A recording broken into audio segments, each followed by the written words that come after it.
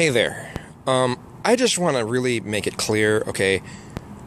Things have not turned into absolute hell, okay? The place I'm staying right now, which I'm not locked down to a six month lease, I'm not locked down to a three month lease, I'm not locked down to anything. Okay? The place I'm staying temporarily isn't that great, but it gives me a chance to look into places that are a lot better. Okay? Things are not looking that bad. Okay? Um, when I realize certain things, I sometimes react in a way and I will obsess, and it's like, oh no, and then I get over it. Okay? I will find a decent place. Okay? I'm.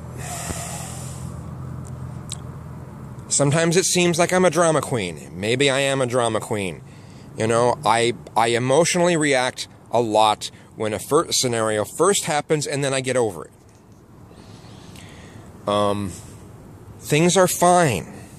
Okay? I will find a place that's decent. Let me just make that really clear. Okay? I will find a place that's decent. I will work things out. I have plans. I have backup plans. I have a number of things I can do. I just need to make that really clear, okay? Um, things will be fine. I will work things out.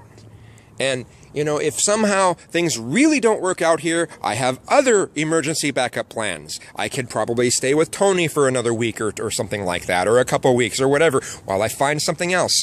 If that came to that, I don't think it's going to come to that. Okay? Um, these things that I'm dealing with are a temporary struggle. Okay? I will be fine. Um, am I frustrated? Yes. Am I really, really depressed? No.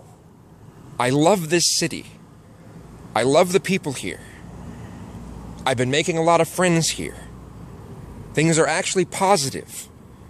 Just because the, the particular place I'm currently staying at isn't that great doesn't mean that everything is shit, okay? Let me make that very, very, very clear, okay? Thanks.